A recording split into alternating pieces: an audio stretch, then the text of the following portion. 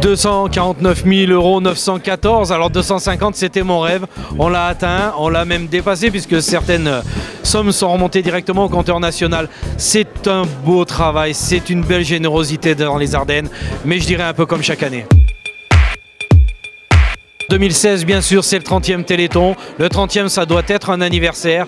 On va travailler d'arrache-pied pour que les manifestations soient encore plus belles, encore plus folles. Et puis, tous ceux qui sont prêts à lancer des défis, on les attend. Et je sais qu'on va largement dépasser le score de cette année, j'ai pas de doute.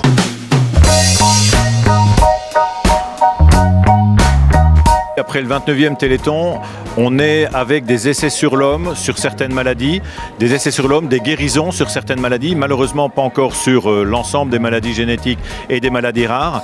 Pour autant, à l'AFM, pour euh, accélérer les traitements, nous allons euh, ouvrir une usine de production de médicaments, si l'on peut dire, en lien avec euh, la Banque publique d'investissement, BPI France, pour faire en sorte que des médicaments de thérapie génique et de thérapie cellulaire soient mis à disposition des malades et particulièrement des maladies rares. Ça, c'est une chose.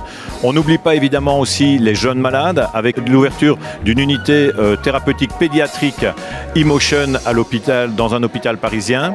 Et enfin, pour soutenir les malades au quotidien, bien évidemment, faire en sorte que les lois s'appliquent et donc l'ouverture d'un plan maladie rare soutenant euh, les maladies rares et les malades qui sont euh, malheureusement qui en sont victimes.